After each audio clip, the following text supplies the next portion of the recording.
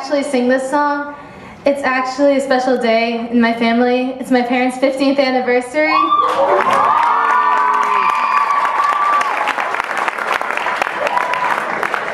So I would like to make my last song out to them since they're so special in my life and I love them so much.